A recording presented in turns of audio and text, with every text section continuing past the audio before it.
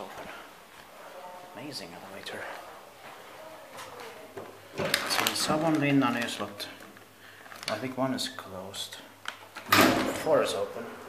Traction. Built in 1974, H3 1240, turning 45 years old this year, 2019, when it's gonna be inspected. Amazing. Yeah. Can actually take two rides in this one.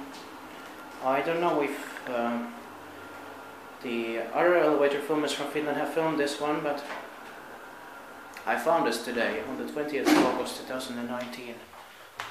Yeah. Amazing. I still could make it original.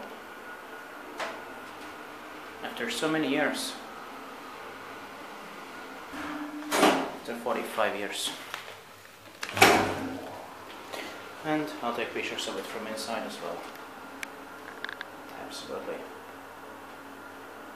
This is well worth it. Oh yes. Okay, let's go.